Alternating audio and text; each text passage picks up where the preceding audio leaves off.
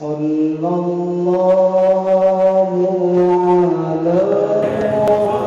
kajian pada malam hari ini judulnya cukup berat. Jadi jangan tertipu sama judul. Kalau saya nggak salah judulnya rahasia ruh dan ma'rifat dalam pandangan syariat. Rahasia ruh dan ma'rifat dalam pandangan syariat. Berat betul ya. Rahasia ruh. Jadi jangan pernah percaya kalau ada orang mau mengkaji rahasia ruh dalam waktu satu jam. Apalagi mau mengkaji rahasia ma'rifat dalam waktu satu jam. Gak mungkin bisa. Dan kalau udah dibilang rahasia ruh, ya rahasia ruh nggak ada yang ngerti. Nggak ada yang ngerti. Makanya pengajian ini di awal sudah berakhir. Wassalamualaikum warahmatullahi wabarakatuh.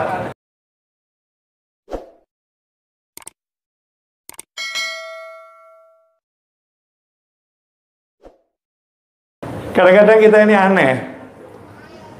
Sok tahu tentang ruh. Ya, sok tahu tentang ruh. Oh, yang nyata aja nggak paham, apalagi yang nggak kelihatan. Tubuh kita ini loh, tubuh kita. Manusia. Masya Allah. Di balik kulit kita ini, ada makhluk Allah yang luar luar biasa. Yang jadi dokter paham itu. Betapa banyak itu sel-sel di tubuh manu, manusia yang bekerja dengan sangat terah, teratur. Baru yang fisik saja kita nggak paham, kadang-kadang kita sok, ya sok ngerti tentang ruh. Maka sok ngertinya manusia tentang ruh itu bukti kebodohannya kepada ilmunya Allah Subhanahu wa taala.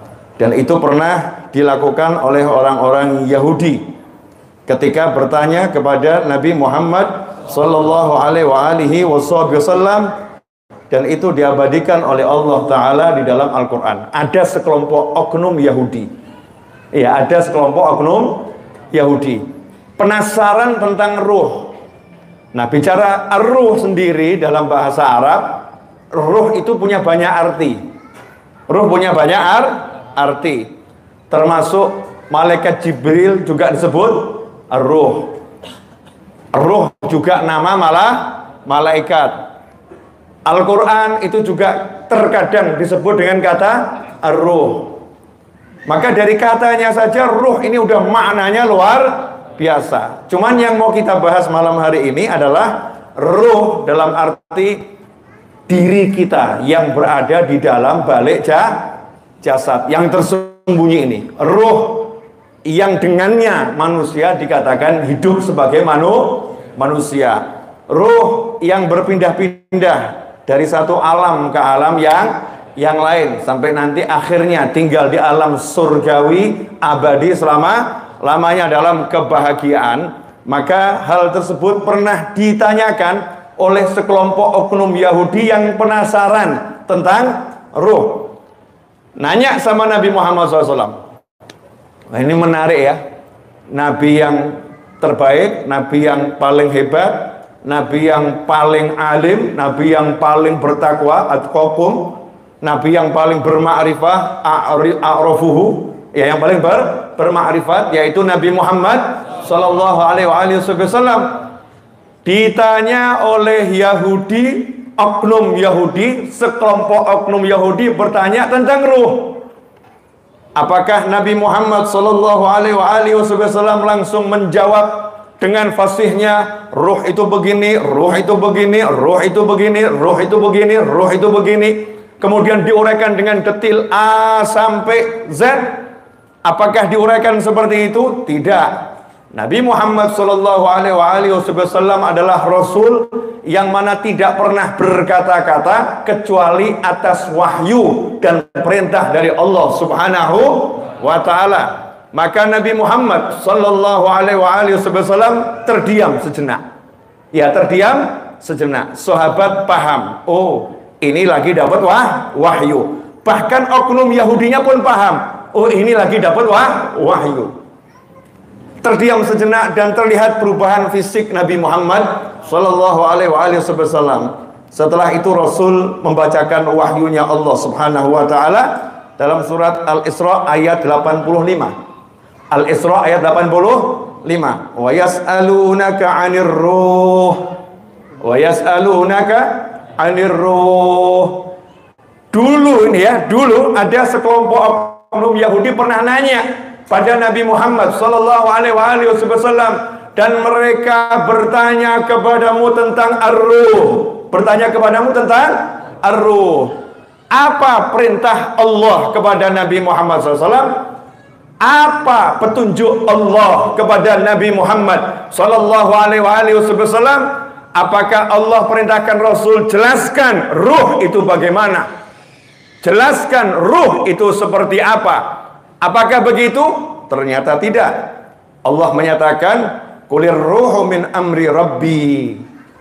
Kulir ruhu min amri Rabbi. Katakan wahai Nabi Muhammad SAW. Siapa nih yang nyuruh ngomong? Siapa yang nyuruh ngomong? Kul. Siapa yang berkata katakanlah? Siapa yang berkata katakanlah? Allah. Siapa yang berkata katakanlah? Allah. Jadi Allah memerintahkan Nabi Muhammad SAW untuk menjawab. Berarti ini jawabannya siapa? Allah. Yang ditanya siapa? Nabi Muhammad SAW. Yang menjawab siapa? Allah. Ini perlu digarisbawahi. Biar kita nggak ruwet ngurusi roh. Ya, biar hidup nggak ngurusi roh. Ya, nggak pusing dengan roh. Kenapa? Wa yas'alunaka 'anir ruh. Mereka bertanya kepadamu tentang roh. Ini Al-Qur'an. Ini Al-Qur'an. Ini kalamullah. Ini wahyunya Allah taala. Mereka bertanya kepadamu tentang ruh. Lantas apa jawaban Nabi Muhammad SAW? Beliau terdiam sejenak menunggu wahyunya Allah. Allah pun menyatakan, mereka bertanya kepadamu tentang ruh. Kulil, kulil ruh min amri Rabbi. Katakanlah ar-ruh itu urusannya Allah. Urusannya Tuhanku. Ruh itu urusannya Tuhanku. Wa ma utitum minal ilmi illa qalila. Dan sesungguhnya kalian tidak diberi ilmu kecuali cuman sedikit. Udah ya, berarti pengajiannya selesai atau? Selesai. Makanya nggak usah gaya hakikat ruh ruh ini begini ruh begitu ruh ruh ruh rah ruh rah ruh ruh ruh ruh ruh. Sementara Allahnya bilang ruh urusannya Allah. Selesai. Jangan hidup membahas hakikat ruh. Ruh seperti apa? Ruh bagaimana dan lain sebagainya sebagainya. Kita boleh memperbincangkan apa yang diperbincangkan oleh Nabi Muhammad Sallallahu Alaihi Wasallam, apa yang disampaikan oleh para sahabat dan para ulama yang betul-betul dikenal keilmuan keilmuannya oleh Allah dan Nabi Muhammad Sallallahu Alaihi Wasallam. Ternyata urusan ruh para ulama itu tidak bergerak penanya, tidak berucap lisannya kecuali menjabarkan ayat Al-Qur'an dan hadis Nabi Muhammad sallallahu alaihi wasallam. Itu yang pertama. Dah, jangan nanya nama ruh saya siapa. Ya, jangan nanya wujud ruh saya seperti ah, apa. Nama saya Naufal bin Muhammad Al-Idrus. Ya, Naufal bin Muhammad Al-Idrus. Wujud ruh saya seperti apa? Kalau dohir saya jangan gantengnya seperti ini, apalagi ruhnya ya insya Allah lebih kan ganteng makanya ibu-ibu kalau wajahnya kok kurang kurang cantik dibanding yang lain ngomong sama suaminya jangan khawatir mas ini cuma wujud wujud uh, wujud fisikku wujud jasmaniku wujud rohku mengalahkan bidadari di alam surgawi ya masya Allah mau lihat mati dulu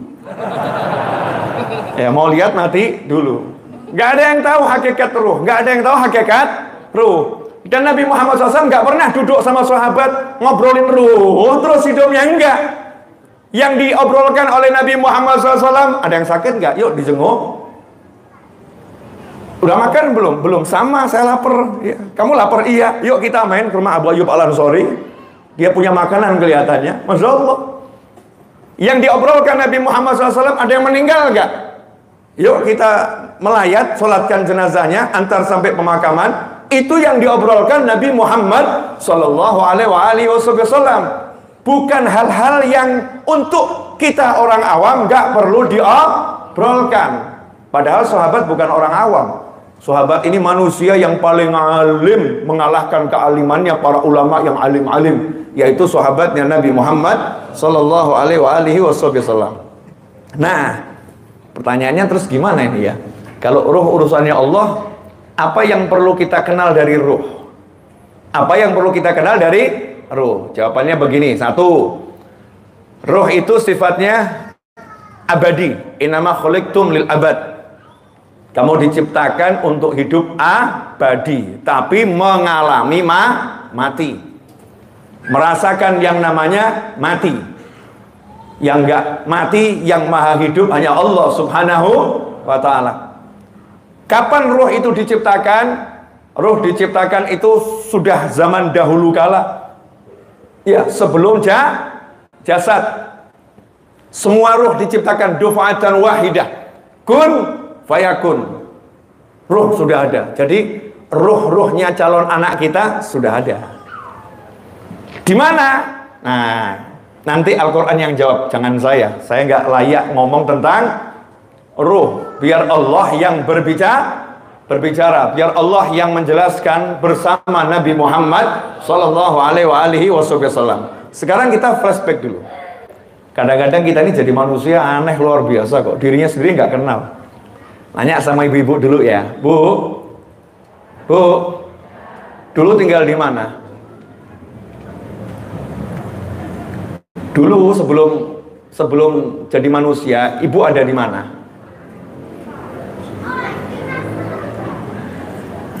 Sudah ada atau belum? Nah, ini kelihatan bingung nih. Berarti ya sama-sama saya. Sama-sama bingung kita. Dulu di mana kita ya? Coba ini kelompok terbesar di dalam masjid ini kaum pria. Di masjid ini di luar kelompok terbesar kaum wanita.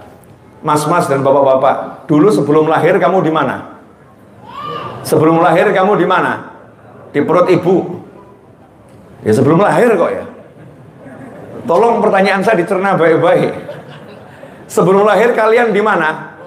Di perut i, ibu. Di perut ibu ketika usianya satu bulan udah ada kalian belum? Belum. Dua bulan? Belum. Tiga bulan? Belum. Empat bulan? Nah baru ada itu 120 ha hari. Kita baru ada. Kok kita tahu kita adanya usia 120 hari? Padahal dalam ilmu kedokteran itu usia sekian bulan kandungan belum sampai 120 hari jantungnya sudah berde berdegup. Betul? Ya, Bahkan bentuk janinnya udah kelihatan sempur, sempurna. Ada tangannya walaupun masih ke kecil. Tapi kita dikatakan kita sebagai manusia setelah rohnya itu ah, ada.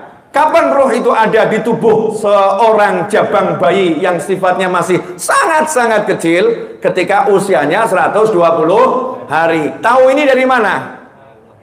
Dari mana? Dari Allah. Allah memberitahu siapa? Nabi Muhammad Sallallahu Alaihi Wasallam. Berarti dari seluruh makhluk Allah yang paling paham urusan roh siapa? Nabi Muhammad SAW. Cuman Rasulullah disuruh merahasiakan, nggak boleh bahas banyak banyak. Cuman kita dikasih tahu 120 hari, tuh ditiupkan roh. Bahasanya ditiupkan. Ya, wanafakhna. Ditiup, tiupkan ditiupkan ruh. Maka ulama membahas, di situ ulama bahas niupkannya lewat mana? Nah, itu pembahasan kan dimasukkan ke fisik nih, ke jasad. Jelas hadisnya dimasukkan ke, ke jasad. Nanti juga roh akan dikeluarkan sebagaimana roh dima, dimasukkan. Roh dimasukkan ke jasad, roh akan dikeluarkan dari ja, jasad. Dari mana memasukkannya? Menurut para ulama dari sini dari ubun ubun. Nanti dikeluarkannya juga dari ubun ubun. Makanya fenomena saya belum pernah mengalami dan tidak ingin segera mengalami. Bagi yang sudah berpengalaman ya, para ruh yang mungkin hadir di majelis ini, wallahu a'lam. Itu atau tanya sama dokter, biasanya orang kalau meninggal dunia matanya bola matanya itu terpejam atau membelalak ke atas? Membelalak ke ke atas Ya. Kenapa kok membelalak ke atas gitu bola matanya? Dikatakan oleh para ulama karena penasaran ingin melihat rohnya. Ketika roh dikeluarkan, jadi penasaran pengen meli melihat rohnya. Itu hikmah, nggak ada yang tahu kebenarannya kecuali Allah dan Nabi Muhammad Sallallahu Alaihi Wasallam. Nah, itu saat roh ditaruh di di fisik. Nah, inilah yang namanya mulai kehidupan di dunia di dunia Makanya ada perlakuan khusus kalau bayi umur 120 hari meninggal dunia, dunia ada syariat yang mengatur kehidupan sudah dimulai mulai ini kehidupan dunia. Nah, sebelum kehidupan dunia ini roh di mana? Roh di mana? Berarti kita ini enggak tahu-tahu ada di perut gitu loh. Ada perjalanannya. Ada per jalanannya, tapi kita lupa, kita nggak ingat, amnesia. Ya kita amnesia. Para ulama mengatakan kalau kita simak dalam Al-Quran surat Al-A'raf ayat 172 Wa id akhadha rabbuka min bani adama min dhurihim dhurriyyatahum wa ashhadahum ala anfusihim alastu bi rabbikum Qalu bala syahidna an taqulu yaumal qiyamati inna kunna an hadza ghafilin. Terjemahannya Dan ingatlah ketika Tuhanmu mengeluarkan dari sulbi alias tulang belakang anak cucu Adam keturunan mereka. Jadi Allah Subhanahu wa taala pernah mengeluarkan kita semua dalam wujud ruh. Masih wujudnya? Ruh. Dikeluarkan sama Allah Ta'ala di satu tempat.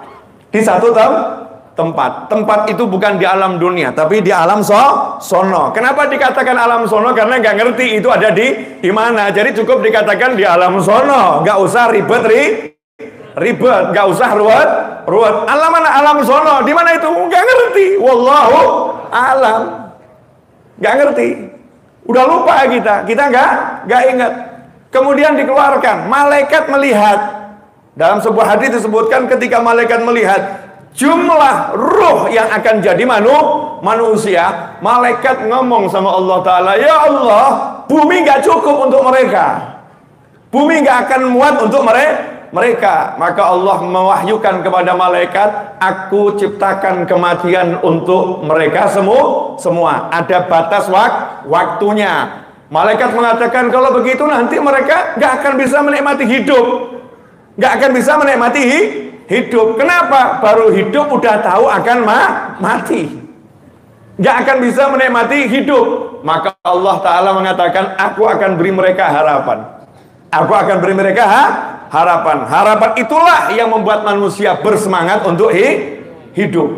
Nah, di situ seluruhnya ditanya oleh Allah Subhanahu wa taala, "Alastu bi rabbikum?" Bukankah aku Tuhan kalian semua? Saat itu semuanya jawab, bala benar ya Allah, kami bersaksi engkau adalah Tuhan kami semua. Kenapa kita bersaksi seperti itu? Karena saat itu kita melihat kekuasaan Allah yang luar biasa. Ruh ini udah lihat jagat raya seperti apa. Ruh paham siapa yang menciptakan seluruhnya. Ruh ngerti, kemudian ruh bersaksi. Benar ya Allah, yang nyiptain adalah engkau. Nah kesaksian ini ada di dalam manusia mana pun manusianya dan siapa pun manu, manusianya. Karena itu dikatakan kullu mauludin yuladu alal fitrah. Setiap bayi terlahir itu dia sudah punya di dalam dirinya fitrah beriman pada Allah Subhanahu wa taala. Percaya yang menciptakan jagat raya hanya Allah Subhanahu wa taala. Setiap bayi yang lahir bersih ya kesaksiannya pada Allah Subhanahu wa taala. Nah setelah itu kita dikembalikan ke sulbi Nabi Adam alaihissalam. Nah di situlah kemudian ilmu kita terbatas untuk memahami. Ilmu kita terbatas untuk mema memahami. Menurut berbagai hadis yang yang ada tentang perjalanan ruh tersebut, ruh ini dititipkan di sulbi ayah masing-masing. Jadi ada orang yang memang punya punya catatan nanti akan punya anak, itu di sulbinya sudah ada ruh anak keturunannya. Ada roh anak keturunannya. Di sulbi-sulbinya itu. Di mana itu? Wallahu alam. Kita nggak ngerti. Ini ilmunya Allah Subhanahu wa taala. Kita nggak akan bahas itu. Nggak perlu dibahas. Nggak perlu dibahas. Ini rahasia yang kita nggak boleh mengungkapnya dan nggak bisa mengungkapnya karena yang tahu rahasia pun nggak ngomong. Allah pun nggak menjelaskan dengan detail Nabi Muhammad SAW pun tidak menyampaikan perkara ini dengan urut satu per satu. Cuman kita dikasih tahu poin-poinnya. Kamu dulu dari alam surgawi, dari alam surgawi. Kamu iman sama Allah Ta'ala. Kamu terlahir ke muka bumi ini. Usia 120 hari di situ.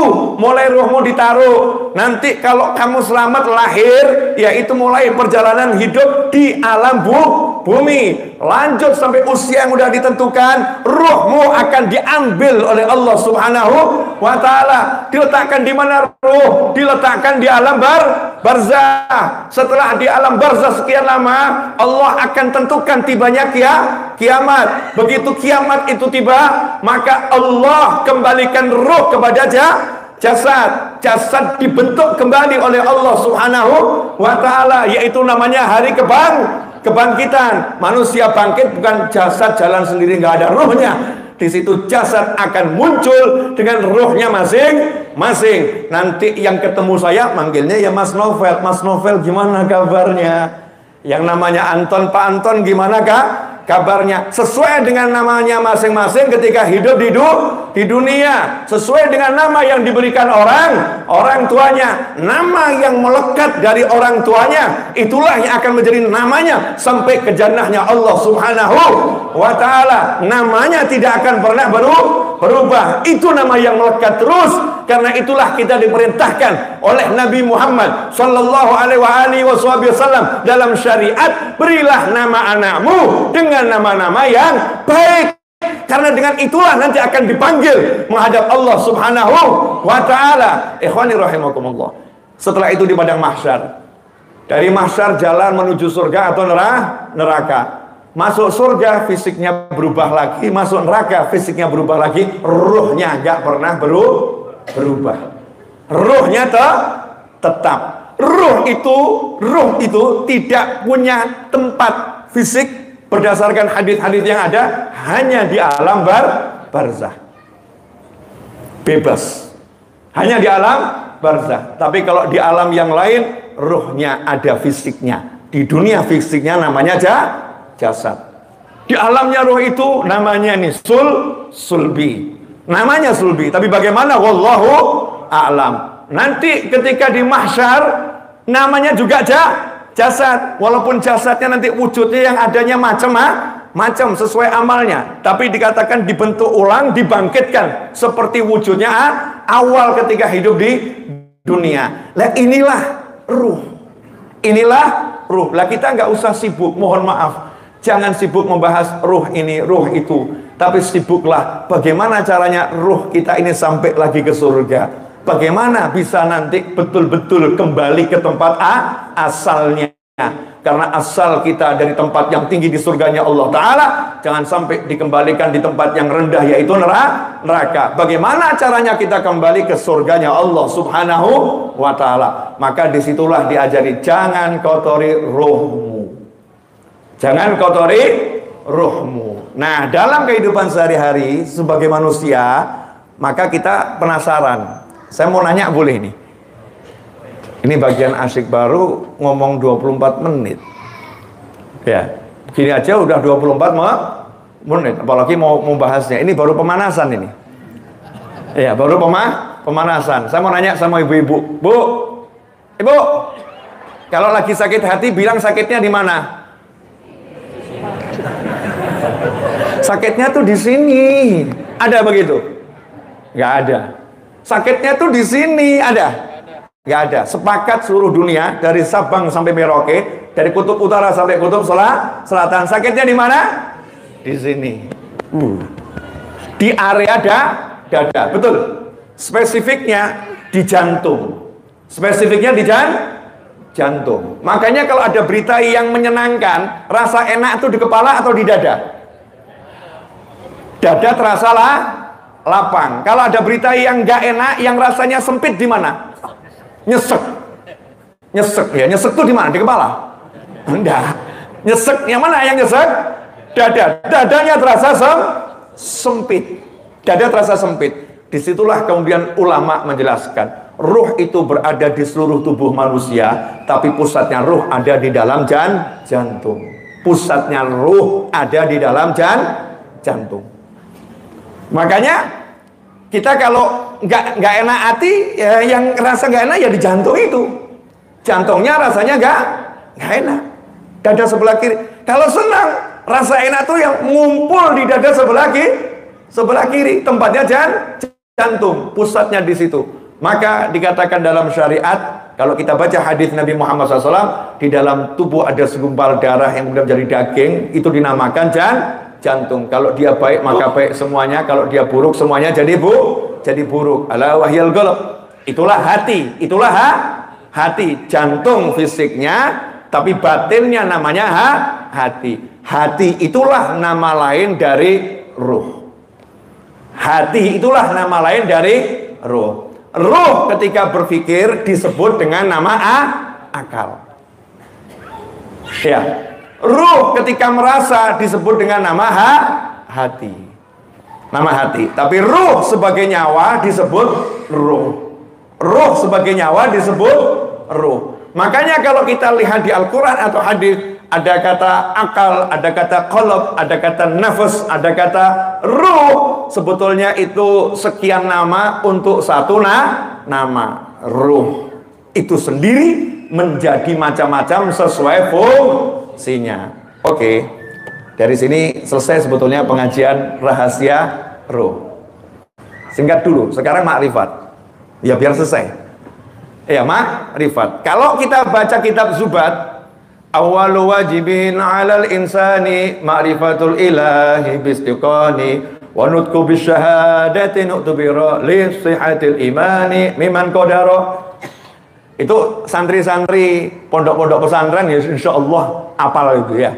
Wajib dihafalkan kitab Zubat. Itu kita fi fikih di awal kitab Zubat itu disebutkan awal wajibin alal insani ma'rif ma'rifatul ilahi bistiqani. Jadi kita nggak usah bahas-bahas ma'rifat. Kenapa? Karena itu kewajiban pertama kita. Jadi nggak mungkin kita syahadat tanpa ma'rifat, nggak mungkin. Jadi orang yang bersyahadat itu sudah berma bermakrifat. Oh kamu belum ngaji makrifat. Oh, kalau saya nggak bermakrifat nggak syahadat. Ma'rifatul ilah Kenal Allah, kenal Allah. Saya tahu yang ciptakan langit siapa? Allah. Saya tahu yang ciptakan bumi siapa? Allah. Saya tahu yang menghidupkan saya siapa? Allah. Saya tahu yang maha mematikan saya siapa? Allah. Saya tahu sifat-sifatnya Allah. Itulah yang namanya makrifat di dalam syari syariat. Jadi makrifat dalam syariat itu kamu kenal yang menciptakan semua ini adalah Allah Subhanahu wa taala. Kemudian kamu ucapkan la ilaha illallah. Di situlah makrifat sama dengan keimanan pada Allah Subhanahu wa taala. Selesai. Perlu dibahas lagi. Nah, ulama kemudian menjabarkan Makanya makrifat itu caranya, caranya ada du, dua. Yang pertama lewat wahyu, lewat wahyu, baik itu wahyu Al-Quran maupun hadis-hadis Nabi Muhammad Sallallahu Alaihi Wasallam. Karena kita nggak nggak tahu yang ciptakan itu adalah Allah, kecuali diberitahu oleh Allah. Kita nggak ngerti yang menghidupkan itu Allah, kecuali diberitahu oleh Allah. Allah ngasih tahu lewat siapa? Lewat utusannya para nabi dan rasul. Di situlah di antara fungsi nabi dan rasul mengenalkan hamba-hamba Allah ini bahwasanya Tuhan mereka, pencipta mereka hanyalah Allah Subhanahu wa taala. Itu namanya ma'rifatul ilah, mengenal yang maha menciptakan. Yang kedua, kalau misalnya Nah ini ada kejadian ini. Di satu daerah, di tengah hutan belantara, mungkin pedalaman Antartika, yang sampai sekarang jadi misteri Antartika ada di di mana gitu ya. Uh, masuk di pedalaman pegunungan es misalnya. Ada satu orang nggak pernah ketemu manusia. Nggak pernah ketemu manu, manusia. Kumpulnya sama penguin. Ya, kumpulnya sama beruang es. Nggak pernah ketemu manusia. Kemudian bisakah dia makrifah dengan Allah Ta'ala?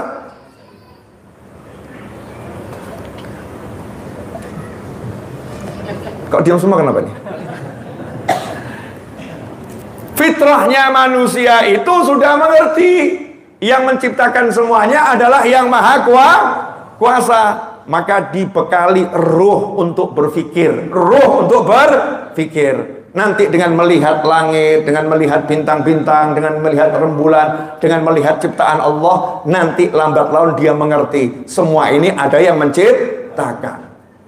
Semua ada yang menciptakan. Ini ada Tuhan yang menciptakan. Itulah ma'rifah bukan dengan ayat, bukan dengan hadis, bukan dengan rasul, tetapi dengan menggunakan akal fikirnya. Nah digabunglah ini Makanya kalau orang hilang akal Dia tidak kena sanksi apa pun dalam syari syariat Kenapa? Karena dia tidak bisa menggunakan akalnya Untuk berpikir tentang siapa yang menciptakan segala galanya Sampai di sini jelas? Saya sengaja ini segera selesai Terus kita akan beralih ke dalam pembicaraan yang lebih menyenangkan Saya nggak pengen ada lagi yang nanya-nanya sama saya Bib, makrifat itu apa? Iya, Bib, bagaimana kita bermakrifat ruh itu seperti apa? Ruh itu seperti a? Seperti apa? Jawaban saya sederhana. Mau tahu wujud ruh seperti apa? Ya, tunggu malaikat nanti datengin kamu. Ya, jangan segera, tunggu saja, sabar. Nanti malaikat Israel datengin kamu, nyabut nyawamu, udah nanti kamu akan ketemu ruh, ketemu dengan ruh. Kalau udah lihat ruh itu seperti apa, tolong jangan beritahu saya. Please, jangan. Nah, nanti datengin saya, Beb, pengen ikut pengen tahu ruh juga enggak gitu. Ikut saya yuk ya. Repot itu. Itu re repot. Enggak usah bahas ruh. Enggak usah bahas ruh, tapi bahas bagaimana kita menjadi manusia yang ruhnya itu tidak dikuasai jasmani, tapi ruhnya menguasai jasmani. Bagaimana tinggal di dunia tidak dikuasai dunia, tapi bisa menguasai dunia dunia. Karena ruh ini cerdasnya luar luar biasa. Ikhwani rahimakumullah. Ma'rifat tadi itu berarti bagaimana? Mengenal Allah Ta'ala.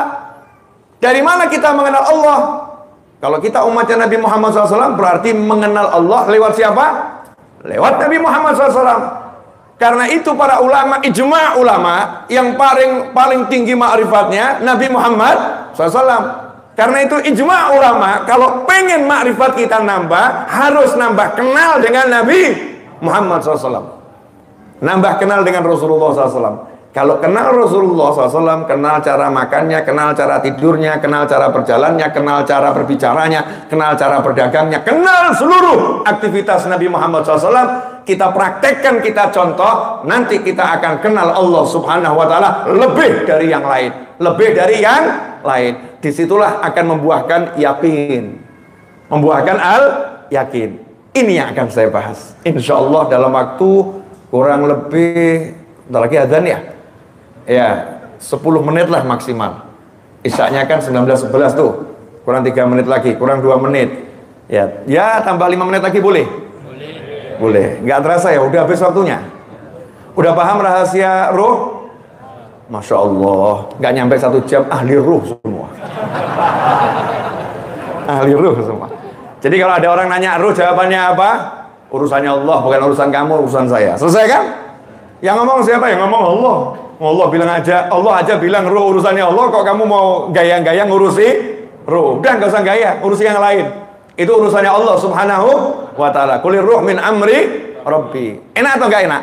enak Allah gak ngasih beban aneh-aneh kok kita berpikir yang aneh-aneh itu yang pertama kemudian kalau ada orang yang nanya Bib wujud ruh saya kira-kira seperti apa? Ya udah jawabannya tunggu malaikat Israel cabut kamu. Nanti kamu akan melihat sendiri wujud rohmu mungkin itu masih mungkin loh ya. Karena saya juga nggak tahu di alam barzah ada cermin nggak ya? Kalau di alam barzah nggak ada cermin, kira-kira ruh itu bisa nggak dipakai kamera gitu? Ruh di alam barzah pakai kamera gitu? lihat gitu bisa enggak Wallahu alam belum ngalami kok. Mau mau coba ngalami? Jangan. Kita mau hidup yang panjang sehat walafiat fi taatillah. Pasti berakhir hidup ini pasti berakhir untuk setiap manusia. Nah juga kita nggak ngerti loh nanti bisa lihat wujud kita enggak wallahu alam nggak ngerti. Namanya juga itu misteri rahasia. Kalau ada orang yang nanya Bib kira-kira Bib ya ruh itu jenis kelaminnya apa Ya jawabannya sederhana, manusia itu ada dua laki dan perempuan. Maka ruh sama dengan manusia, ada ruh laki-laki dan ada ruh perempuan. Itu jelas. Namun jenis kelaminnya ya itu. Beb, nanya lagi Ustadz, kira-kira ruh bisa terbang apa enggak? Ya Allah, mumet aku. Terus apa manfaatnya kalau kamu tahu roh bisa terbang? Jangan khawatir di dunia ini kita nggak bisa terbang Allah kasih pesawat kok. Gitu aja kok repot. Betul. Kita nggak bisa terbang Allah kasih pesawat. Kita nggak bisa nyelam Allah kasih kapal so kapal selam. Nah kok mikir nanti di alam barzah terbangnya gimana, Beb? Emang perlu terbang? Mikirnya aneh ah? Aneh-aneh. Yang mikirnya begini-begini, biasanya ujung-ujungnya konslet, plek, jeglek. Nauzubillah min dalik. Tahu kongslet terus kalau ada listrik di rumah loh, kongslet, korslet apa kongslet itu istilahnya ya. Terjadi uh, kecelakaan kabel ketemu kabel apa namanya? Ya sudah konslet gitu aja ya. Nah, begengsernya akhirnya apa? Jepret, terserah jepret, jeglek, macam-macam tuh bahasanya. Iya. Terus akhirnya apa? Listriknya mah mati. Nah itu otak ya otak kalau banyak-banyak mikir roh, rohnya protes. Sama rohnya dijeglekin jeglek gitu ya. Akhirnya black out nggak bisa ngapa-ngapain ya. Jadi nggak bisa mikir apa apa. Makanya nggak usah banyak mikir aneh aneh. Sukanya mikir aneh aneh. Ada yang nanya, Bib, kira-kira roh itu sholat atau tidak? Ya kamu tuh ya sholat pakai ruh. Yang sholat ini manusia, fisiknya sholat, hatinya juga sholat. Nah, berarti rohnya perlu wudhu. Nah ini jelek lagi. yang diwudhu itu bukan roh, yang diwudhu itu ja, jasad. Kalau jasadmu wudhu, nanti rohmu jadi su, suci. Rohnya muslim udah suci, dikatakan suci karena ketempelan dosa. Ya, dibersihkan dengan wudhu. Enak lagi, Pip, Iya. Roh bisa kenalan sama jin apa enggak?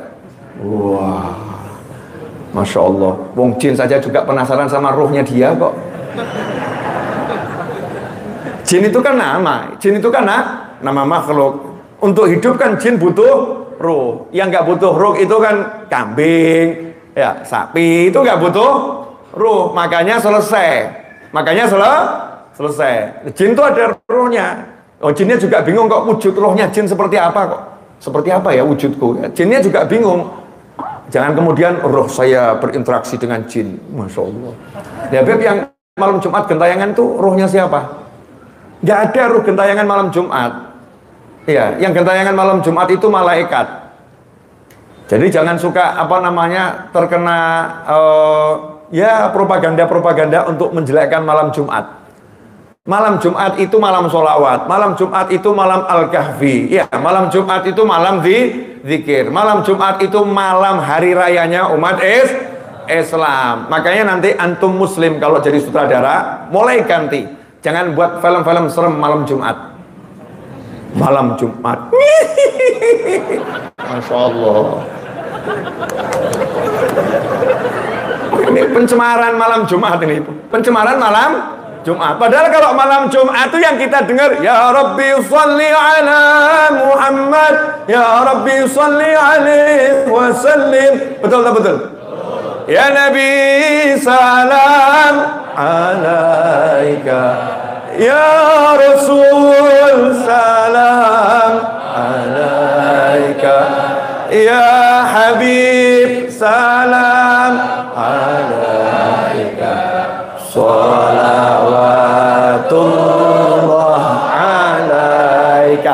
Malam Jumat. Betul. Jangan malam Jumat. Aneh. Itu pelecehan malam Jumat.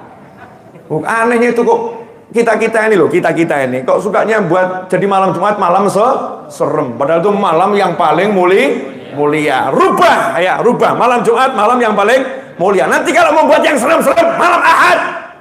Malam Minggu biar orang takut keluar hari Sabtu malam Minggu. Hmm. Hati-hati lo malam Minggu. Hmm.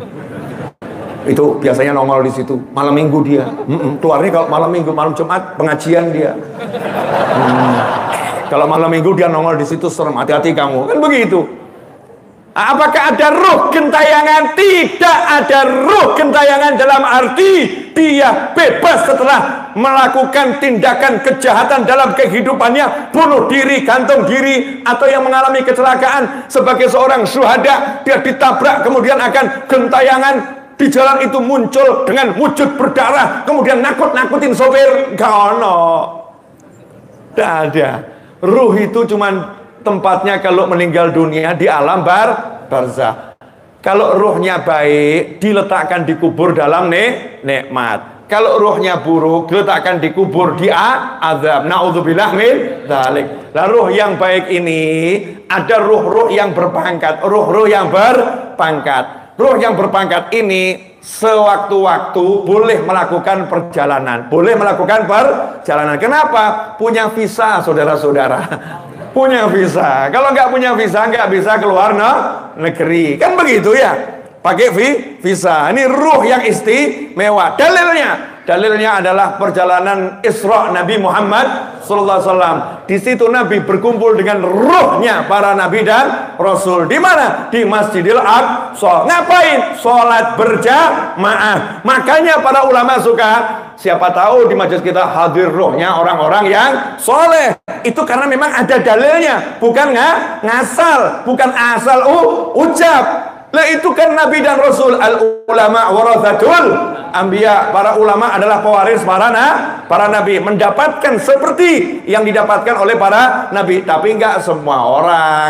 Yang duitnya dikit kan cuma bisa main di Bintaro. Yang duitnya banyak bisa pergi ke Bandung. Duitnya lebih banyak pagi bisa terbang ke luar negeri. Kan seperti itu. Yang amalnya semakin besar, ada kebebasan-kebebasan tertentu di alam bar barzah. Bagaimana bentuknya? Yang ada dalam syariat yang kita dengar adalah beberapa kasus peristiwa yang disampaikan Nabi Muhammad SAW yang tidak akan saya bahas malam hari ini.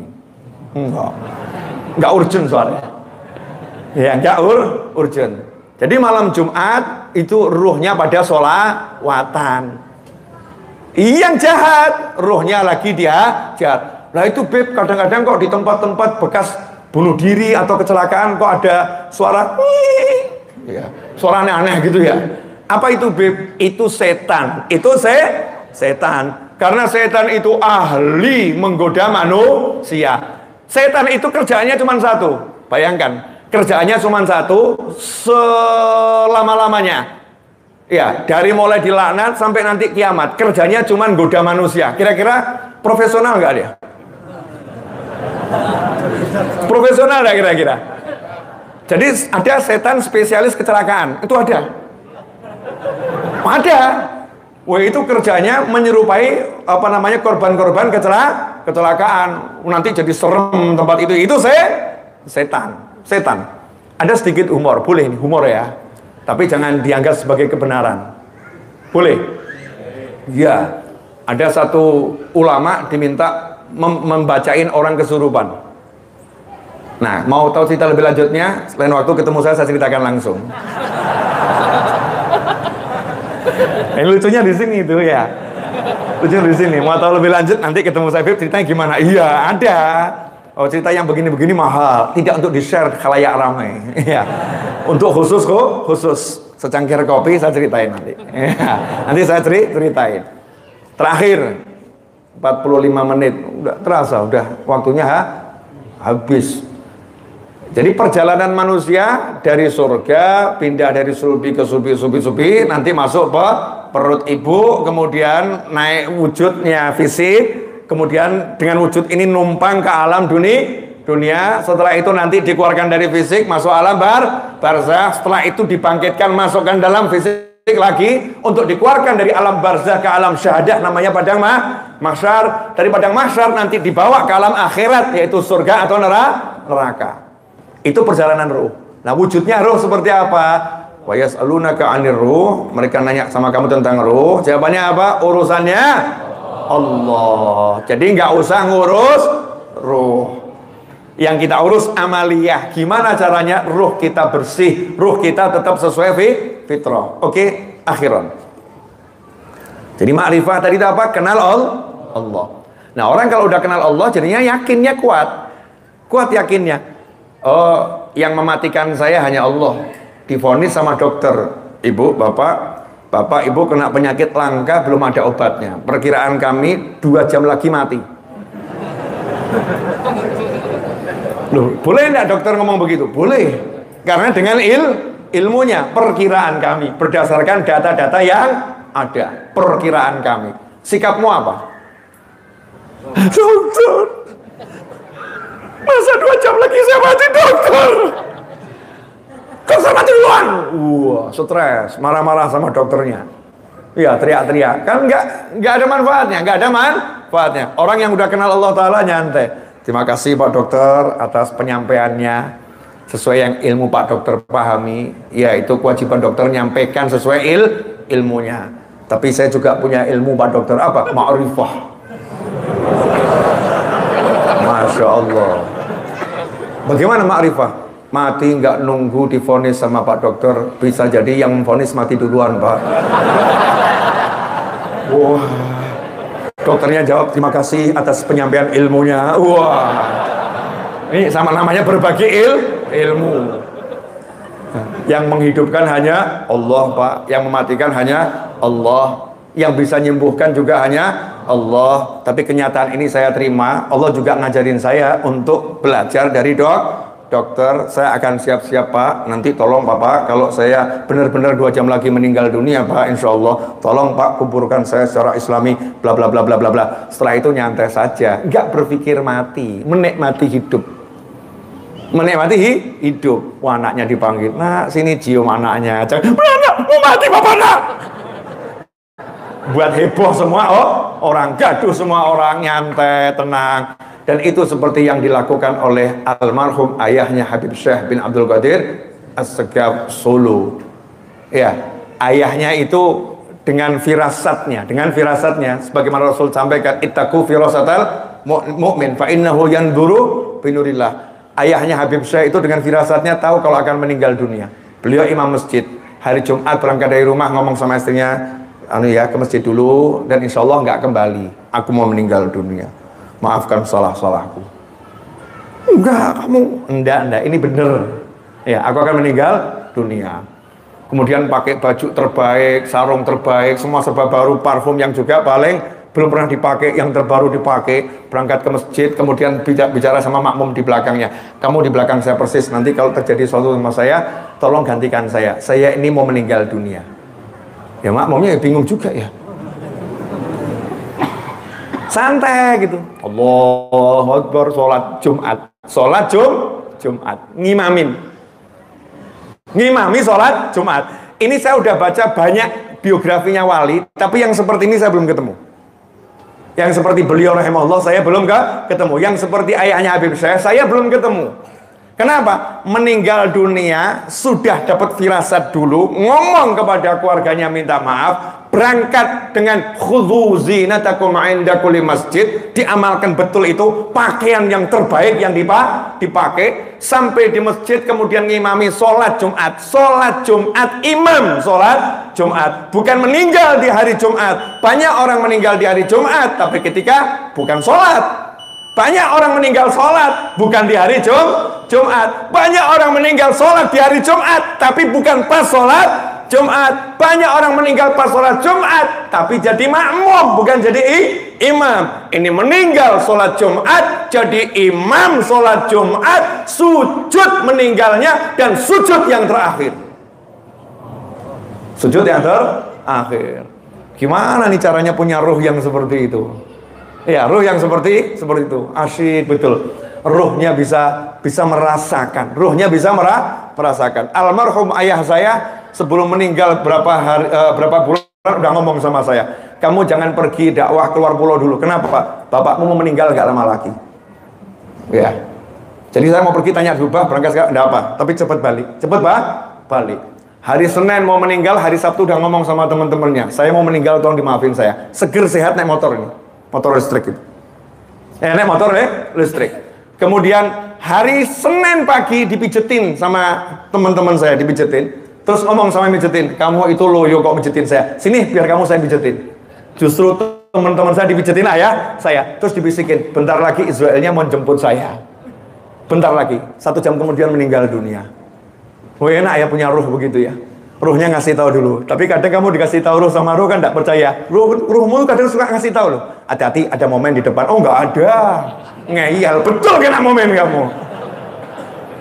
Itu namanya vira, firasat. Nah firasat ini kerjanya ruh. Bukan ah, pikir otak bukan. Tapi kerjanya ruh. Ruh kalau semakin bersih dengan iman dan amal soleh, alladzina amanu wa amilu solihat. Iman dan amal soleh, maka akan jadi sesuatu yang luar biasa. Sebagai penutup, karena bentar lagi kita masuk bulan suci Ramadan, pengumuman dari saya Habib Novel Al-Idrus, kalau ada yang nanya sama saya, Habib Ramadannya kapan? Saya ya, Ramadannya kapan? Jawaban saya kalau saya, kalau saya saya saya kapan pun dan di mana pun akan selalu mengikuti keputusan pemerintah. Pemerintah bilang hari Sabtu ya saya ikut, pemerintah bilang hari Ahad ya saya ikut. Itulah fungsinya pemerintah. Fungsinya pemerintah di situ. Habib kalau ada yang mau hari hari apa namanya Ramadannya tanggal sekian hari Sabtu misalnya, gimana? Ya nggak apa-apa. Kan ada yang yang punya fatwa dari dari ulamanya ya, ulama umatnya dengan ilmunya. Ya nggak apa-apa. Habib kalau ada yang Ramadannya hari Jumat, ah, wallahu alam itu. Nggak ngerti saya, belum dengar saya, belum dah dengar. Kalau ada yang bilang Ramadannya hari Ahad, Ahad misalnya, oh nggak apa-apa. Asal jelas itu yang memfatwakan, apalagi itu pemerintah, pemerintah tinggal diikutin. Yang perlu kita bahas adalah yang tidak mau puasa itu loh dibahas. Ruwet. Kalau kamu kenapa puasa hari Sabtu? Kamu kenapa puasa hari hari Ahad? Ini semuanya orang puasa yang dibahas. Lah yang nggak puasa kok nggak dibahas? Paham?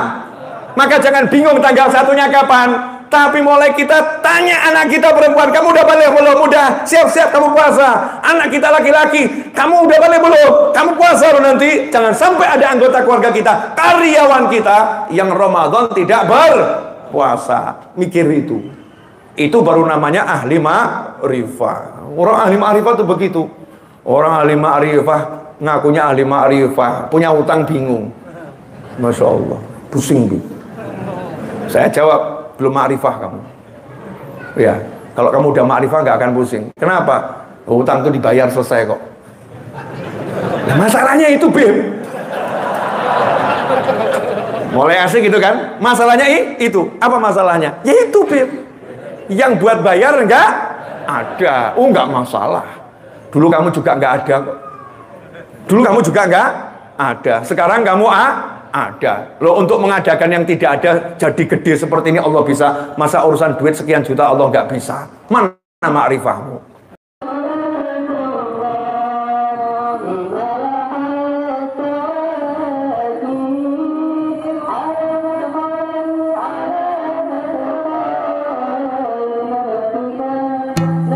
Yandra Al Ghifari, channel yang membahas informasi, motivasi, Silahkan subscribe dan nyalakan loncengnya agar tidak ketinggalan video dan informasi terbaru dari channel Diandra Alkifari.